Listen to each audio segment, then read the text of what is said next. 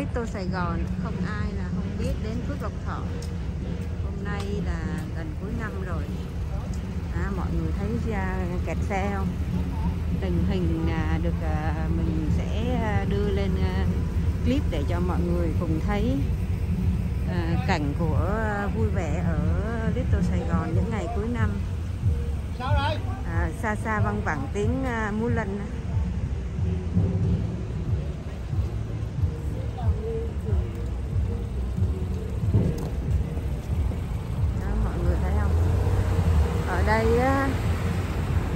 gần mà mình ít khi nào ra. À, nhưng mà đối với những người ở xa chỗ những cái hình ảnh này rất là thân thương và rất là cần thiết trong những ngày xuân.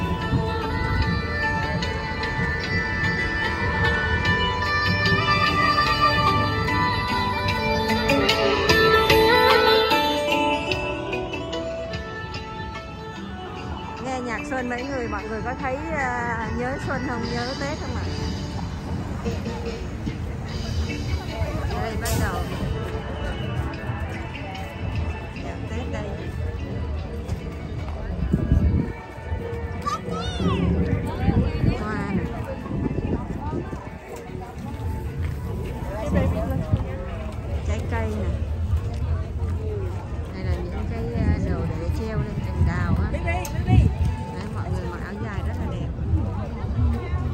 Trái cây rất là đắt tiền nha. 11 đồng một thao xoài cát hòa lộc em sẽ phải mua cái này. Ừ. bây giờ sắc nặng chưa sắc? Đó, hoa mai. Đấy, bó hoa bán để mình mang về mình trồng á. Sau đây mình cắm vào bông á à, cắm vào chậu còn đây là những cái cây à, mãng cầu đỏ rất là đắt nha. Ngàn tám một cái cây đó đó.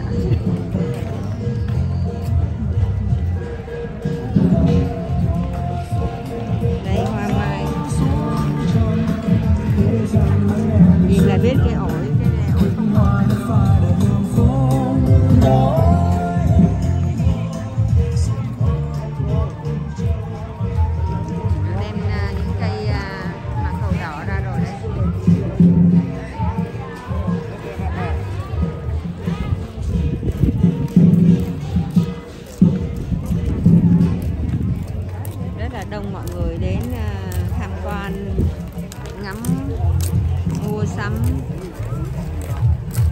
Rực rỡ sắc màu. Không uống chưa? Bắt đầu có sale 50